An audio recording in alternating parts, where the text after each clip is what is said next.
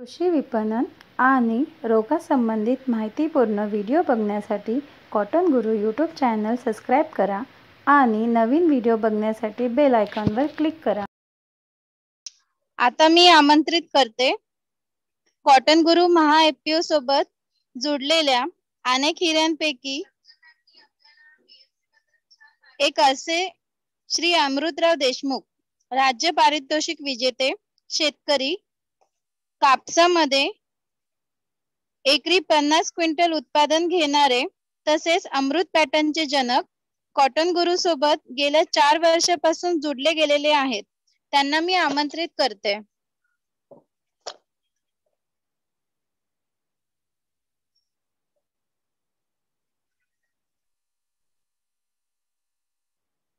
Hello.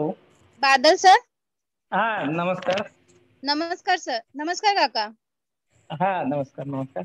अं, ते काही आपल्या एमपीचे जे डायरेक्टर आहेत समजा त्यांचा जर काही प्रश्न असतील तर ते विचारू शकते. तर त्याच्यावर आपल्याला बोलता येईल हा त- त्यांचे प्रश्न आहेत मी सांगू का तुम्हाला? हो तुम्ही सांगा नाही तर त्यांना सांगू ते काय हरकत. अं, एक मिनिट. हं. बादल सर? हा मॅडम. हा बोला मॅडम.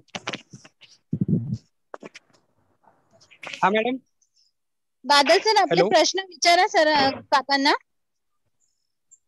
हा मॅडम. हा. काका?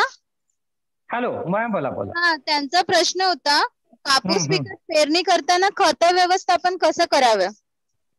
बरोबर आहे. अं, एक सर्वात महत्त्वाचा प्रश्न आहे की खत देणं हे सर्वात महत्वाचं असते. कापसाचं उत्पन्न जे आहे समजा तर ते खत व्यवस्थापनावरच असते सर्व. आणि आपण पाहतो की हे बरेचसे काही तज्ज्ञ मंडळी आहे ते सर्व चुकीच्या मार्गदर्शनाने खताचं व्यवस्थापन सांगत असल्यामुळे उत्पन्नात खूप घट होते. आणि म्हणूनच आता जसं की गेल्या तीन वर्षापासून जसं कॉटन गुरु डागाजी समजा आणि आपला अमृत पॅटर्न या आमच्या या माध्यमातून बरेचसे वेबिनार पण होते आणि प्रत्येक शेतकऱ्याला एक सखोल अशी माहिती दिली जाते एक प्रशिक्षण दिले जाते समजा की खताचं आपल्याला टाकणं महत्वाचं आहे समजा. आता खत बरेचसे पाहिजेत की ते मायक्रोन्यूट्रन्स टाका नंतर दुय्यम अन्नद्रव्य आहे तर ते पण टाका. अं, अन्नद्रव्याचे आता महत्त्वाचे बाकीचे पण बरेचसे आता हे पण टाका हे काही कापसाला लागत नाही.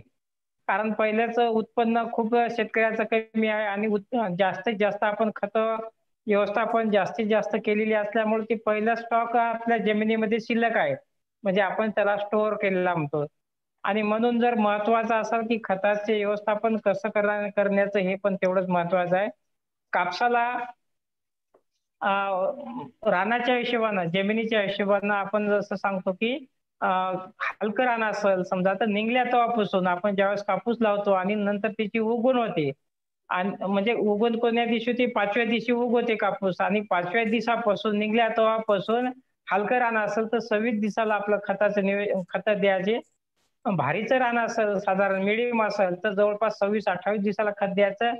आणि नंतर भारीचं रान असेल तर तीस दिवसाला खत द्यायचं. परंतु काही शेतकऱ्याकडं शेणही शेण भरपूर आहे समजा म्हणजे आपण त्याला गोबर खत म्हणतो ते पण भरपूर शेतकऱ्याकडे काही आहे. काही शेतकऱ्याकडं हळदीचं पण बिवड असेल काही शेतकऱ्याकडे मिरचीचं पण बिवड असेल. काही शेतकऱ्याकडं गव्हाचा पण बिवड असेल अशा शेतकऱ्यांनी तीस बत्तीस दिवस कोणतेही खत द्यायचं नाही. आणि मग हे जे खत द्यायचे आता हे टप्प्याटप्प्यानं शेतकऱ्याला ओळखायचं कसं महत्वाचं कसं ओळखायचं ते पण महत्वाचं आहे. आता आपल्या शेतात बरेच शेतकरी येते त्यांना विचारतो मी की खत कापसाला द्यायचे कसं कसं समजायचं? तर बऱ्याच शेतकऱ्याचं म्हणणं पडते की कापूस पिवळा पडला की खत द्यायचं आता कापूस पिवळा पडला आणि खत केव्हा द्यावा व्यवस्थापन कोवा करावं? ते पण चुकीचं आहे. आणि म्हणून आता कसं आहे की कार्यक्रमाला आपल्याला वेळ खूप कमी असल्यामुळे शॉर्टकटमध्ये मी सांगू इच्छितो समजा. आणि आपल्याला काय कसं आहे की सहा ते आठ दिवस कधीच लागणार नाही तर आपल्याला चारच दिवसात समजते आपल्याला खत कसं कमी जास्त व्हायला की. जे मूळ अन्नद्रव्य आहे तर समजा ते तीन आहेत. समजा एनपीके आता काही शेतकऱ्याला एनपीके द्यायचं माहीत नाही तर मायक्रोट्रस कधी कवा समजल? आणि म्हणून एनपीके कसं द्यायचं हे पण तेवढं महत्वाचं आहे. ज्यावेळेस आपण पहिला डोस शेतकऱ्यांना सांगतो की सव्वीस दिवसाला तीस दिवसाला पहिला खत दहा सव्वीस द्या. डबल जे खतं द्यायचे आता आपल्याला बारा चौदा बारा चौदा दिवसाच्या फरकाने द्यायचे आता. दुसरा डोस आपण सांगतो की दहा सव्वीस सव्वीस पण आता पहिले जे पेरलेले आहेत पाच फुटाचे किंवा एक तास आड करून आपण पेरायचं आहे. त्या अवताला दोन फारोडे दोन सरते लावायचे आहेत आणि त्या सरत्यांना आपल्याला एका फट्यातून पेरायचे एक फटा सोडायचा. म्हणजे वेळेची बचत होईल आणि खर्च पण त्याचा कमी लागल. आणि दोन्ही गुण जर पेरलं समजा आपल्याला काय होईल की ते झाड खूपच लवकर ते खतं ओढून घेईल आणि अनाठ्या खूप वाढल. उदाहरणार्थ एखाद्या वेळेस जर आपला कापूसच वाढत नसेल चिबडलाच असेल तर आपण दोन्ही गुण खत देऊ शकतो आपण. परंतु चांगला जर वाढत असेल तर ते आपल्याला दोन्ही गुण खत द्यायची आवश्यकता नाही. नंतर दुसऱ्या वेळेस आपण दहा बाराला दिवसाला खत ज्यावेळेस देतो आपण त्यावेळेस जे सुटलेले तास आहे यानं खत द्यायचं आहे आणि पेरलेले तास सोडून द्यायचा आहे. आणि जर आपण वखरपाळी जर करतो म्हटलं तरी दोन्ही गोष्टी होतात. खत होते आणि वखरपाळी पण होते मग हे पण महत्वाचं आहे. तिसरा डोस आपण दहा सव्वीस सव्वीस आता हे जे खत द्यायचे बारा चौदा बारा चौदा दिवसाच्या फरकाने द्यायचं सांगतो आपण. तिसरा डोस एक दहा सव्वीस सव्वीस पाच किलो सल्फर द्यायचं पाच किलो किंवा दहा किलो दिलं तरी चालते. चौथा डोस एक दहा सव्वीस सव्वीस आणि पंचवीस किलो मॅग्नेशियम सल्फेट द्यायचा आहे. आणि पाचवा डोस आपण एकरी तीन बॅग युरिया एकदा देतो.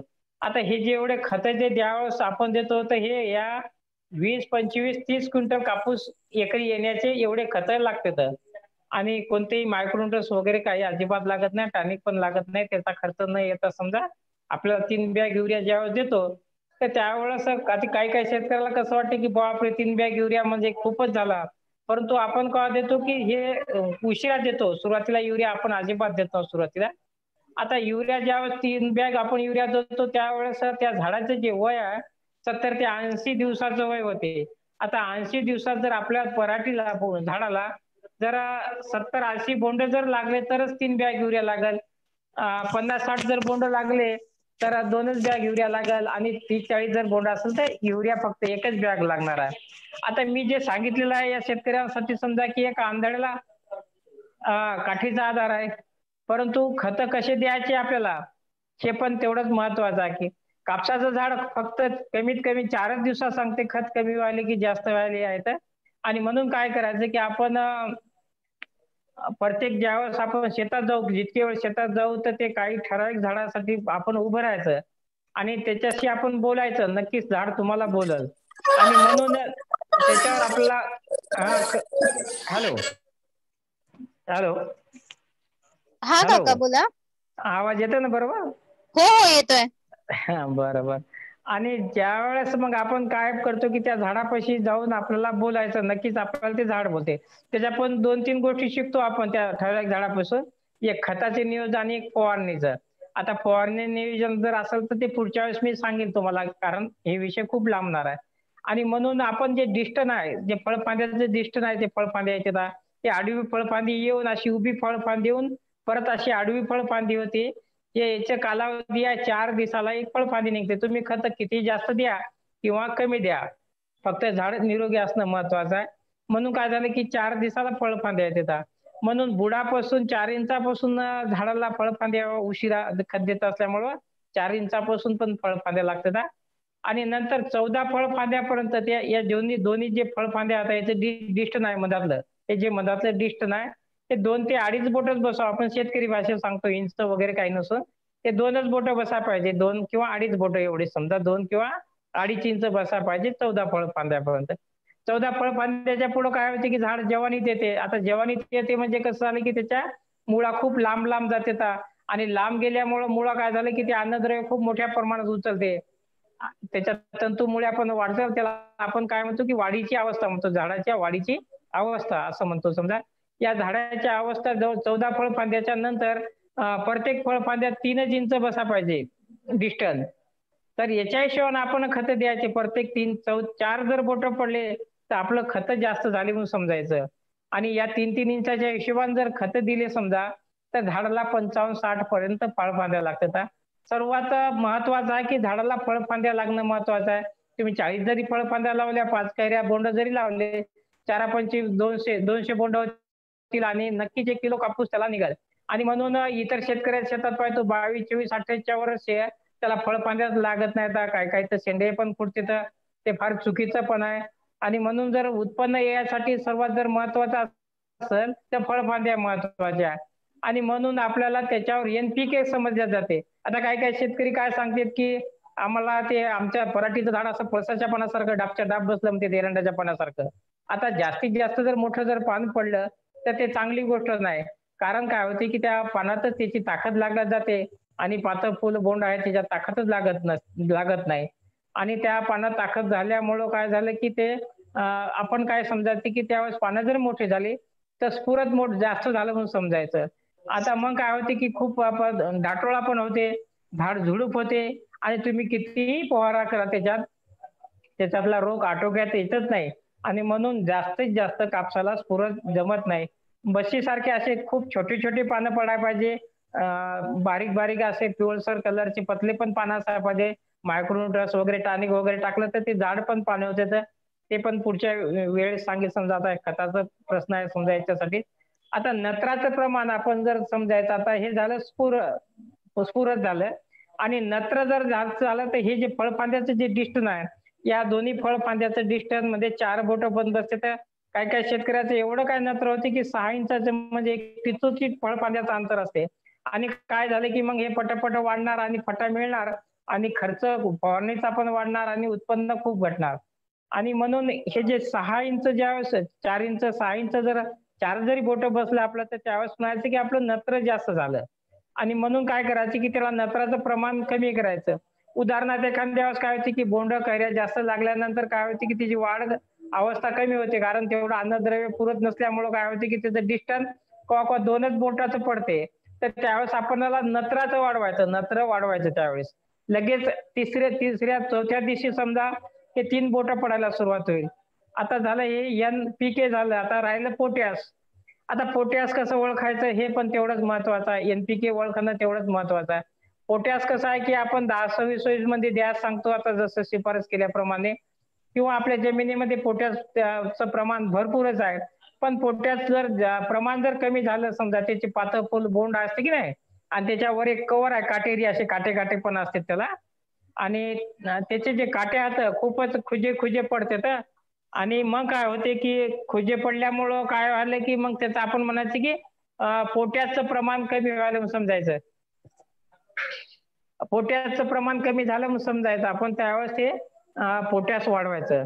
तर अशा पद्धतीने एनपीके जर खत जर दिले तर आपल्याला नक्कीच उत्पन्न वाढणार आहे. आता काही शेतकऱ्याचे बरसा दिला फोन आमचा दीड फूट कापूस झाला अडीच फूट झाला पाच फूट झाला. आम्ही त्यांना विचारतो की तुमच्या फळ फांद्या किती आता? कोणी म्हणते दोन हाता कोणी म्हणते चार हाता आणि कोणी म्हणते मोजल्याच नाही तर आपला व्यवसाय परवडणार नाही.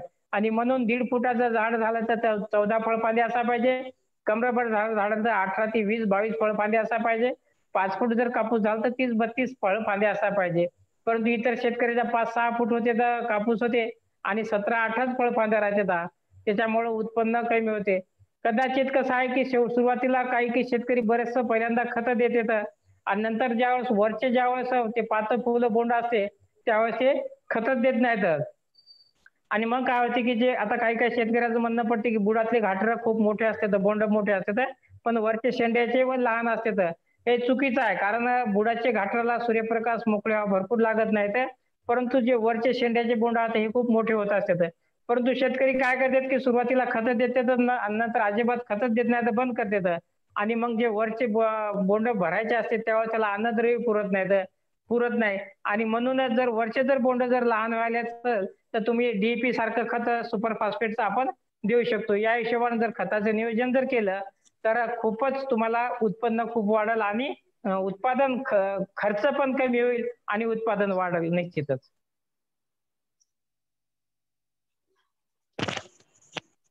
Badal sir? Hello. Hello Badal sir? हा आपले प्रश्न विचारे तुम्ही. हॅलो. हा सर मी म्हणतो मी जे बोललो समजा हे लक्षात आले की नाही? हा सर एकदम बढिया सर म्हणजे खूपच छानपैकी माहिती दिली जे बोटाचं डिस्टन्स आहे त्यामध्ये पालाचं अंतर कसं ठेवायचं काय करायचं एकदम बेस्ट सर थोडा रोग आणि व्यवस्थापन थोडा सांगून द्या सर आणि काही प्रॅक्टिसेस आहे का ते आपण वापरू शकू? हा तर आपण महत्वाचं की सर्वात जर डिस्टन्स महत्त्वाचा असून फळफांद्या पण महत्त्वाच्या आहेत समजा. आणि रोगाचं प्रमाण कसं आहे की रोग पण महत्त्वाचे आहे की रोग ओळखणं पण महत्वाचं असते सुरुवातीला ज्या वेळेस असते समजा तर आपण म्हणतो चुलडा मुलडा याच्यासाठी सुरुवातीला आपण एक किंवा दोन फवारण्या कॉन्फिडॉरच्या घ्यायच्या. एकदम स्वस्त वाला कॉन्फिडॉर जसं हजार बाराशे रुपये मिळत असं समजा. दुसऱ्यांदा रोग येते नंतर एखाद्या वेळेस काय होते की म्हणजे पहिल्या सुरुवातीला कॉन्फिडरच्या दोन फवारण्या निघायच्या नंतर ऍक्टरा याच्या पण एक दोन फवारण्या निघायच्या आणि नंतर ज्यावेळेस बोंडात रूपांतर होईल ती चाळीस बोंड असते तर आपण त्याला मोनोकोटोफास पण करू शकतो या साठी परंतु कधी कधी काय होते की तिन्ही औषधं मारले तरी काय होते की रोगच जात नाही. तर एखाद्या वेळेस असा पण येते आणि म्हणून या तिन्ही पैकी एक औषध आणि रिजंट पण आपण घेऊ शकतो. किंवा बायोचे पण औषधं काय आहेत याचा पण आपल्याला युज करू शकतो सुरुवातीला या साठी. नंतर पांढरी माशी जी आहे आसिटामा प्रायडोज कव्हर करायला पाहिजे. दुसरं भारीचं औषध पोलो वगैरे भारीचं औषध बिलकुल नाही मारायचं समजा. आणि कदाचित आता मॅडम पण नंबर देतील तुम्हाला जर काय अडचणी असल्या तर मला तुम्ही कॉल पण करा. दुसरी गोष्ट आता आपण पाहतो की ज्याच्या वेळेस एखाद्या वेळेस पाऊस जास्त जर झाला दाटोळा जर झाला तर त्याच्यावर काय होते की काळे डाग डाग पडतात किंवा तपकिरी कथ्या कलरचे त्याच्यावर डाग पडतात. आणि त्याच्या हे रोग खूप खराब आहे. त्यांना पानं खूपच गळून जातात आणि मग उत्पन्न होत नाही. याच्यासाठी ब्ल्यू कापर आणि स्टेप्टोसायक्लिन घ्यायचं या रोगासाठी. जे पाता आहे समजा पातं ज्या वेळेस पानं करपत असेल तर एम पंचाळीसची याची पण फवारणी घ्यायची आहे. आणि नंतर बुरशीनाशक आपण आपण याच्यासोबत एखादा कोणतं ना कोणतं आपण वापरू शकतो. समजा बोंडसडीसाठी बोंडसड पण खूप मोठ्या प्रमाणात आता यावर्षी पण येणारच आहे. आणि त्याच्या हिशोबानं मी तुम्हाला प्रत्येक आता ज्या वेळेस कृषी विभागासोबत मेळाव्यातील कार्यक्रम होतील तर मी आम्ही त्याच्यासोबत ते परंतु टाकणारच आहेत. आता याच्या व्यतिरिक्त जर कोणता रोग असेल तर ते सांगा. मी तुमच्या त्याचं औषध पण सांगेल मी तुम्हाला. बादल साहेब. हॅलो सर हा बोला बोला. तर कापसातील अंतर जे आहे तुम्ही ते किती ठेवायचं असतं? आणि केव्हीकेच्या माध्यमातून केव्हीके सांगते का बा? एनपीके जे आहे ते पिकाला पेरणी करीत असताना देऊन द्यायचं पूर्ण. फक्त नत्र उरवून ठेवायचं आणि ते तीन टप्प्यामध्ये द्यायचं. बाकी पुरत पालाश पेरणी करताना द्यायचं. आणि तुम्ही तीन चार पाच वेळा खत द्यायचं सांगतात याच्यामध्ये काय फरक आहे? आणि पेरणीचं अंतर किती ठेवा कापसामध्ये कसं आहे की आपण जे खत सांगितले चार पाच वेळचे हे आमच्या पद्धतीसाठी आता पाच एक सात एक या पद्धतीत आहे. आणि आमच्या जे झाडाला जवळपास पंचावन्न साठ पर्यंत फळबांधे आहे तिला. हे पण महत्वाचं आहे. आणि आपण काय करतो की आता जसं की कृषी विभाग जे सांगते समजा की एखादं आपण लहान लेकरू आहे त्याला जन्मलं की का भाकर देतो का? हा त्याचं त्या पद्धतीनं आहे की त्याच्या झाडाच्या अवस्थानुसार खत द्यायचे. कृषी विभाग आपण जे सांगतो ते कृषी विभाग किंवा कोणताही शास्त्रज्ञ सांगत नाही. तुम्हाला स्पष्ट सांगितलेलं आहे की तुम्हाला खत खत कसे द्यायचे? हा खत खत कसे द्यायचे? हे तुम्हाला सांगितलं त्याचं डिस्टन्स सांगितलं त्याचं दोन इंच अडीच इंच तीन इंच. या पद्धतीनं तुम्ही नत्र वगैरे खत देऊ शकता ना? आणि आपण जे कृषी विभाग आहे आपल्याला आपल्या शेतात कोणी येऊन जर शांत आता एखादा तुम्ही प्रत्येक आता पाहतो की आपण बरेचसे शिकलेली मंडळी आहे समजा ज्याला काहीच जमत नाही ते शेतीत आपल्या उतरते. आणि शेती एवढी सोपी आहे समजा की याच्यात कॉफी नकल होती धुऱ्यावरचा शेतकरी काय करायला?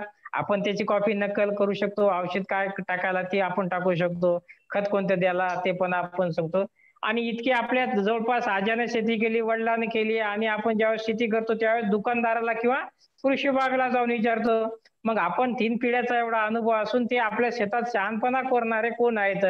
आपलं शेत आहे आता माझी भाषा आणि तुमची भाषा कदाचित खूप तफावत पण असेल कारण पंधरा किलोमीटरला भाषा बदलते. तसं तुमचं जे शेत आहे तीन जागी बदलते. कुठं खूपच हलका आहे कुठं पान बसन आहे आणि कुठं पण चांगल्या चांगल्या प्रतीचं पण आहे. आणि याच्या तिन्हीच्या पद्धतीनं तुम्ही तुमच्या खताचं व्यवस्थापन फवारणीचे व्यवस्थापन त्या रानाच्या मजदुराप्रमाणे करू शकता ना आपण? करू शकतो ना? बरोबर एकदम बरोबर. हॅलो? हा बोला. हॅलो? सर कृषी विभाग किंवा आपण सामान्यपणे बोंडअळीच्या धाकानं साडेसहा महिन्यात ते सात महिन्यामध्ये पिकाचं पूर्ण उत्पादन घेऊन त्यांना काढून टाकावं. म्हणजे फडतड घ्यावं नाही असं अपेक्षा आहे असं सांगितलं जाते. तर तुमचं याविषयी का म्हणणं आहे? का फडतड घ्यावं नाही? की पीक किती दिवस आपल्या शेतामध्ये ठेवावं? कसं आहे की आता पहिली गोष्ट की जे शेतकरी आता समजा हे शेतकरी मेल्यासारखं मेल्यातच जमा आहे. कारण का? आता एवढं काय अन्याय आहे समजा शेतकऱ्यावर की ते आपण एवढं सहन करतो एकत्र येत नाव पहिली गोष्ट. आणि म्हणून कसं आहे की आता पहा ना तुम्ही की यावर्षी पाऊस भरपूर होता गत वर्षी. समजा सुरुवातीला पंच्याहत्तर साठ दिवस तर कोणाच्या शेतात मालच लागला नाही. पाण्यानं ते पात गळत राहील फुल गळत राहील बोंड गळत राहील. आणि मग शेवटी शेवटी माल लागला समजा डिसेंबर जानेवारी जाने म्हणजे डिसेंबर पर्यंत समजा. आणि नंतर मग एक दोन महिन्याचा कापूस असताना एखादा वेचा झाला तर डिसेंबरला जानेवारी मध्ये काढाच म्हणते. तर मग एका दोन महिन्यात आपला कापूस काय होणार आहे? आणि माझं काय म्हणणं की आता आपण तर कधी तुम्ही आम्ही देव नाही पाहिला पण आपण देव शास्त्रज्ञाला समजतो. आपले ते देव शास्त्रज्ञ आहेत. परंतु ते आपल्या देवापद याच्या पर्यंत वागत नाहीत. आणि म्हणून पाहत आपलं कसं म्हणणं आहे की आता जे बोंड सड म्हणतो आपण आणि बोंडाळी म्हणतो आमचं तीन वर्षापासून भानगडी चालू. आता की मी म्हणतो बोंड आळी बोंड सड आहे त्याचं म्हणणं पडते की बोंड सड आहे आपला आळी आहे. आणि गुजरातला तर मान्य केलं त्यानं की हे बोंड सडच आहे म्हणून. आता कृषी विभाग बी मानाय तयार झालं थोडं थोडं पण त्याला आता एकदम रिवर्स कसं हे येतायचं म्हण आणि म्हणून शेतकऱ्याच्या समजा आता शेतकऱ्याचीच मुलं आहात विद्यापीठात तरी आपलेच मुलं आहात ना हे दुसरे कोणी नाही तर आणि म्हणून आता त्यांनी जे काय तुटक्या मुटक्या जे सांगितले की त्या बुरशीवरचे औषधं सांगितले ते आम्ही दोन वर्षापर्यंत पैसे अगोदर हे करून करून घेतलेले आहेत. यांना काही होणार नाही. आणि म्हणून संघटित येणं महत्वाचं आहे. समजा की सर्व शेतकऱ्यांना संघटित येणं महत्वाचं आहे. आता हे शास्त्रज्ञ आहेत आणि एवढा मोठा गव्हर्नमेंटचा यांना पगार पण आहे समजा. आता कोवा कोवा मना वाटत नाही परंतु काय कोवा कोवा अशी वेळ येते समजा की तुम्ही असा प्रश्न केल्यानंतर. आता एवढे मोठे शास्त्रज्ञ असेल की आता या शास्त्रज्ञाने करावं काय करावं की असं आम्हाला बी पाहिजे की एकदा जर लावलं समजा तर तीन वर्ष आम्हाला कापूस उपटायचं काम नाही पडलं पाहिजे. येईन असा कापूस सांगायचा आम्हाला की त्याला पाणी बी सहन झालं पाहिजे पाणी नसलं तरी सहन झालं पाहिजे आणि कोणत्याही प्रकारचा रोग पण नाही आला पाहिजे. आणि म्हणून या शास्त्रज्ञानं असं तीन तीन तीन वर्षाचा कापूस आपल्याला आणावा लागणार आणणार पाहिजे. आणि आपल्याला एवढं न जर आणखी ते सांगतात की तुम्ही म्हणजे रिवर्स चालले ना पाठीमागं चाललो आपण समजा आणि कितीतरी वर्षानं. आणि त्याचं म्हणणं पडते की मग तुम्ही ते कापूस लवकर चुपटा त्याच्यावर दुसरं पीक घ्या आणि मग शेतकऱ्याला काय उरणार आहे? दहा महिने अकरा महिने जर आमच्या कापूस पहा दहा अकरा महिने चालते. आणि जर नाही चाललं दहा अकरा महिने तर आपल्याला शेती करण म्हणजे करणं तरी परवडणार आहे का? आता इतकाले आपण खत टाकतो फवारण्या करतो आणि जर लवकर जर काढून टाकला समजा तर किती मोठं अवघड आहे ना. आणि कास्तकार मी पाहतो बरेचसे समजा की ते बोंडाचे लागलेले सड म्हणत नाही तर बोंडाळी म्हणत नाही परंतु याची स्पर्धा आहे आपल्याला. मी बरेचसे व्हिडिओ पाहतो की ते एखादा हार्वेस्टर येते आणि ते बारीक त्या चुरा करते आणि ते पण आपण दाखवतो. आणि असं न दाखवता जर शेतकऱ्यांना एकत्रित आलं आणि जर तुम्ही जर वाटत असेल समजा तुम्हाला कोणी म्हणत असेल बोंडाळी आहे बोंडसड आहे किंवा कोणतं काय असेल तर साठ पासष्ट दिवसाला मलवा बलवा कृषी विभागाचे काही तज्ज्ञ असतील त्यांना बोलवा. आणि कोणते दुसरे काही तज्ज्ञ असतील तर सर्वांना बोलवा. आणि अकोले का हाल पाहू ना आपण तिथं काय करायचं ते. आणि याच्यावर तुम्ही मग सर्व गोष्टीचं चांगला दबाव पण येणं महत्वाचं आहे ना या गोष्टीचा. हॅलो. निश्चितच धन्यवाद सर. काका अजून एक प्रश्न होता. बोला बोला. बोंडे जास्त लागण्यासाठी काय करावं? हा तर महत्वाचं कसं की सर्वात मेहनत महत्वाची आहे. जसं की आपलं जसं शरीर जास्तीत जास्त जर आयुष्य जर आपल्याला जर वाढवायचं जर असेल तर आपण योगा करतो. खाण्यापिण्याची व्यवस्था ठेव बरोबर करतो. शरीराची काळजी घेतो. जसं मोटरसायकल असेल किंवा वाहन असेल की जी सर्व्हिसिंग बरोबर करतो याच प्रकारचं महत्वाचं आहे की सुरुवातीला डिस्टन्स कसं घेणं हे महत्वाचं आहे. सुरू त्याच्या अगोदर आपल्याला शेणखत कोण्या पद्धतीने घेणं हे पण महत्वाचं आहे. त्याची दिशा कोणती असली पाहिजे उत्तर दक्षिण असली पाहिजे पूर्व पश्चिम झालं तर उत्पन्न उत्पन्न कम कमी येणार आहे. नंतर त्याची झाडाची जी विरळणी आहे समजा ते तीन ते पाच टक्के झाड बोगस येते त्यात नरग्याचं झाड येते त्याचं फार विचित्र पण असे झाडं येतात नंतर त्याचं काय काय बरेचसे असे झाडं येतात की त्याचे भेसळी झाड त्याला पातळ लहान लागते फुल पण एकदम बारीक येते आणि बोंड पण बारीक येते. असे जे झाडं आता हे सर्व आपल्याला एक दीड हजार झाडं काढावं लागतील ते. आणि जे काय एखाद्या पाहतो की एखाद्या शाळेत टक्केवारी मुलं घेते तर असे झाडं आपल्या शेतात टक्केवारीच घेणं महत्त्वाचे आहेत. रोग ओळखून समजा त्याच्या फवारण्या करणं बी महत्वाचं आहे तर त्याला सूर्यप्रकाश मोकळी हवा कशी भेटेल जास्तीत जास्त ते पण महत्वाचं आहे. झाडाला कशा फळ फांद्या पंचावन्न साठ लागतील हे पण लागणं महत्वाचं आहे. तर म्हणून हे बारीक बारीक जे गोष्टी आहेत समजा तर हे बऱ्याचशा गोष्टी आपल्याला करावं लागणार आता. आता आपण झालं कॉटन गुरुच्या माध्यमातून आपण काय करतो की एक शंभर गुणाचा पेपर आहे समजा. शंभर जे मार्क आहेत समजा त्याच्यात आम्ही जे म्हणतो त्याच्यावर तुम्ही तेवढे मार्क किती सोडत आहे याच्यावर महत्त्व आहे. आणि तसंच तुम्हाला सर्व जर गोष्टी जर पद्धतशीर तुम्ही प्रश्न सोडले तर निश्चितच तुम्हाला उत्पन्न खूप जास्त येईल. परंतु आपल्याला बोंडबद्दल सर्व संघटित होणं महत्वाचं आहे. त्याच्याबद्दल तुम्हाला तुम्ही आम्हाला बोलवा स्वतःच्या खर्चाने पण येईल. नंतर बोंडाळी बोंडसड याचा काय फरक आहे? बोंडाळी आता काही शेतकऱ्याला वाटते बोंडसड म्हणतात पण त्याच्यात आळी तर दिसते. परंतु ती आळी कशी येते काय येते मी याच्यावर जवळपास जर बोलतो मला तर अर्धा एक तास तरी लागू शकते सगळ्या गोष्टी.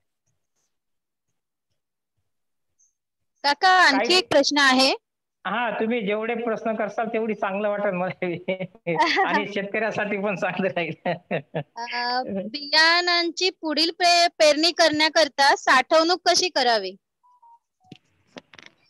हा तर आपल्या कापूसामध्ये कसं आहे की संकरित वाण आहेत की नाही? हा हॅलो. हॅलो. हा काका हा आपले आता संकरित वाण जे आलेले आहेत ना कपाशी बदलचे तर याच्यामध्ये बियाण्याची तर साठवण होतच नाही. परंतु जसं सोयाबीन असेल भुईमुग असेल किंवा इतर जे पीक आहेत त्याच्याबद्दल आपल्याला साठवणीचं सांगता जमल. कशी करायची ते? त्याचे जर प्रश्न असेल ओके. आणि शेवटचा एक प्रश्न आहे. बियाणं करता उत्पादित माल ठेवायचा असेल तर पिकाची निगा कशी ठेवावी? तर कसं आहे की महत्त्वाचा प्रश्न आहे. समजा आपण बरचसं आपण पाहतो की प्रतवारी करणं आणि ते आपण जे मजूर जे लावतो लेबर लावतो त्याच्याकडे आपलं लक्ष पण नसते आणि ते कोण्याही पद्धतीनं कापसाची वेचणी पण करते तर सुरुवातीला. सुरुवातीचे जे पहिल्या एक दोन वेचणी आता सुरुवातीच्या जे आपण कापूस वेचतो ते खूप कवड्या पण असतात त्याच्यात आणि वल वलसर पण असते. आणि हा जर वलसर जर कापूस ठेवला तर ते लाल पण पडणं आणि नंतर कापूसाची प्रतवारी पण खराब होते. खालच्या कापसाची होते वरून जे टाकला त्याच्यात त्या कापसाची पण होते. तर ते वल्ला असल्यामुळे सुरूचे दोन चारशे जरी भाव चार पाचशे जरी भाव जरी कमी असले तरी ते परवडणार आहे. कारण त्याचं वजन खूप वाढलेलं असते. आणि म्हणून ते सुरुवातीचा जे कापूस आहे ते काढून टाकायचा ठेवायचा नाही. नंतर परत भिजत असलेला कापूस पण ते पण आपल्याला बाजूला करायचा आहे. आणि आपल्या पद्धतीत कसं आहे की या पाच एक सात एक या पद्धतीत काय होते की सूर्यप्रकाश मोकळे भरपूर भेटून बोंडाचं वजन खूप चांगलं येते. शेवटीला ते तीन बॅग युरिया टाकल्यामुळे काय आलं की ते कापूस जसं जुने शेतकरी म्हणत होते हिरवा कापूस असला की गारेजला कापूस म्हणायचे. आणि जर तीन बॅग युरिया जर दिला तर त्याची प्रतवारी खूपच छान येते कारण त्याची सरकी पण चांगली भरते. ते लवकर फुटत नसल्यामुळे त्याच्या बोंडाची साईज पण मोठी होऊन आणि त्याच्या जे म्हणजे बोंड आहे ते असं अलगत येते समजा असं एक अंड्यासारखं असं खाली येते. आणि म्हणून त्या पद्धतीनं युरिया पण महत्वाचं टाकणं आहे समजा. आणि नंतर आपण जेव्हा साठवतो समजा त्याला त्या खोलीला समजा पॅक पण असणं महत्वाचं आहे थोडस. आणि त्याच्यात थोडस गॅस पॉयझन ज्यावेळेस भेटते समजा पुड्या बऱ्याचशा गॅस पॉयझनच्या समजा. किंवा थिमिट वगैरे ज्यावेळेस पुढे असे बांधून जर आपण त्याच्यात जरी ठेवतो म्हणलं समजा तरी किडा किटोक होणार नाही. केव्हा केव्हा काय होते की ते एवढे काय किडे त्या कापसामध्ये ते होते साठवलेल्या आणि ते भरणार पण लोक भरत नाही तर त्या शेत त्या घरात जर गेलं तर आपले अंग पण खास येतं आणि म्हणून असं त्याला गॅस पॉयझन सारखं त्याचं एक महिन्याला पंधरा दिवसाला आपण त्याच्यात एखादं कोणतेही औषध जरी ठेवलं तरी चांगलं राहणार आहे. आणि आपल्या जे वेचणी आता सुरुवातीच्या की आपण काय करतो की एकाच एकाच एकाच ते आपण कापूस टाकतो असं न टाकता प्रतवारी करून त्याच्या गंजा पहिला पहिल्या आपण ते विकूनच टाकायचा. सुरुवातीला जर भिजला असेल कापूस तर दुसरा तिसरा चौथा जे वेचणी आहे ती एकत्र ठेवायची. नंतर पुढच्या जे वेचणी आता चौथा पाचवा सहावा ज्यावेळेस वेचणी आहे तिला तर त्याच्यात ते कापूस ज्यावेळेस पाहतो आपण ते अलग ठेवायचं ते. आणि म्हणून काय होईल की ते आपल्याला भाव पण चांगले भेटतील आणि त्याचं उत्पन्न पण चांगलं होईल. दुसरी गोष्ट कसं आहे की आता पाहतो की आपण जे शेतकरी माल विकते बारा महिने जे माल विकतेत आणि सर्वात बारा महिन्यात काय होते की पहिल्या दोन महिन्यात कोणता सोयाबीन असो कापूस असो की या दोनच महिन्यात शेतकरी पन्नास टक्के माल विकते सुरुवातीला. आणि पन्नास टक्के माल विकत असल्यामुळं काय होते की व्यापारी त्याच्यात सुरुवातीच्या या दोन महिन्यात भाव खूपच कमी करतात पाडतात आणि म्हणून या दोन महिन्यात कापूस न विकता थोडस याच्यात एक दोन तीन टप्पे आपण जरी केले समजा तरी त्या पद्धतीनं चांगलं होईल. आणि त्या हिशोबाने आपल्याला भाव पण चांगला मिळणार आहे. समजा अशी काही गडबड नाही करायची सुरुवातीला दोन महिने कापूस विकण्याची पण. त्या पद्धतीने आपण साठवण करून कापसाचे भाव पण वाढवून घेऊ शकतो आपण. एफपीओ मधून अजून काही प्रश्न असतील तर तुम्ही विचारू शकता. निकिता मॅडम?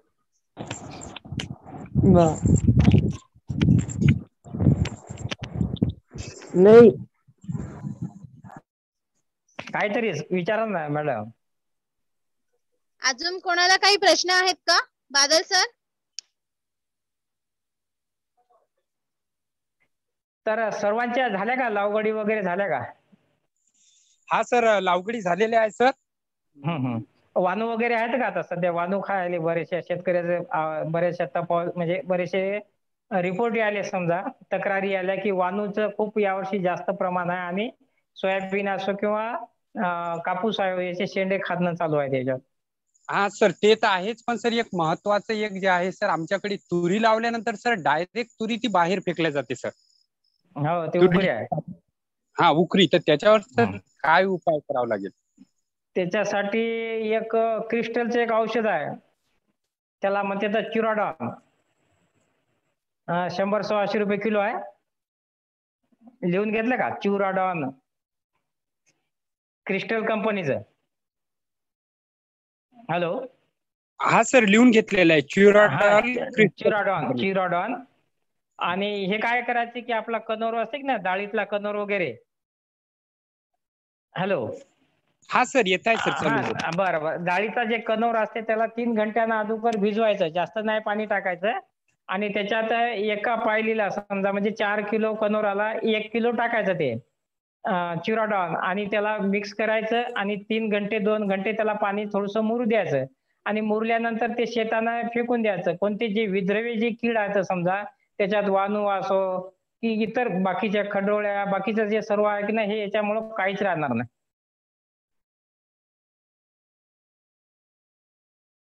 हा सर. हा सर. हा सर. हा हा हा. तर ते करून बघा. हा सर. खरोखर सर तुम्ही सर पहिले शेतकरी आणि नंतर विद्यापीठ आहे.